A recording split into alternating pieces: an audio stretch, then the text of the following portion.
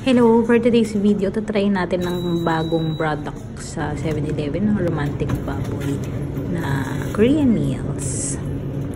Yan. Bibimbap po yung napili ko.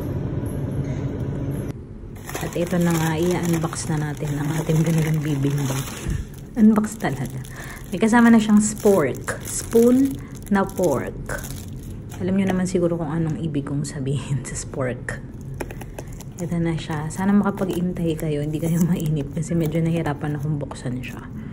At medyo tinamad na akong i-crop or i-edit yung part na hindi ko mabuksan. Ayan. Worth it naman.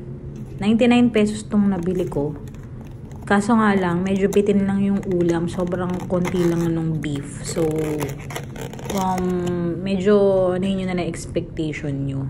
Kung gusto nyo ng medyo madami-dami, meron silang 149. So, yun ang itatry natin next time. So, ito na siya. Ang photo.